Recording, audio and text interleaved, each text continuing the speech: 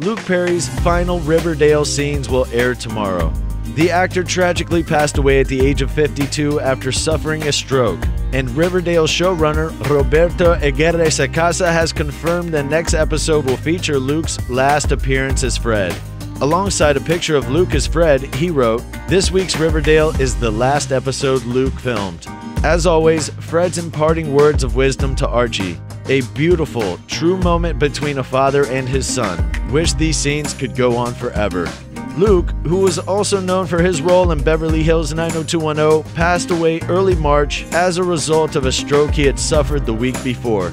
In a statement, his representative said Perry was surrounded by his children Jack and Sophie, fiance Wendy Madison Bauer, ex wife Minnie Sharp, mother Ann Bennett, stepfather Steve Bennett, brother Tom Perry, sister Amy Coder, and other close family and friends.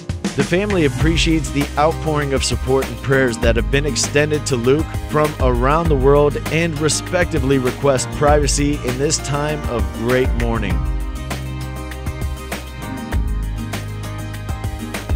If you like and subscribe to our videos, there's a chance your favorite celebrity will follow you on Twitter. We can't prove that, but we're saying there's a chance.